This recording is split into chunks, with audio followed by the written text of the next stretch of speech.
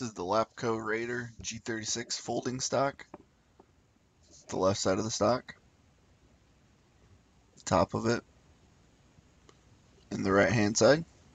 This is going to work on all of the 98 markers, including the ACTs, as well as any of the U.S. Army markers. It's a folding stock by pressing down. Press down. It's made of a polymer composite material. means it's going to be lightweight yet durable. Again, this is the Lapco Raider G36 folding stock.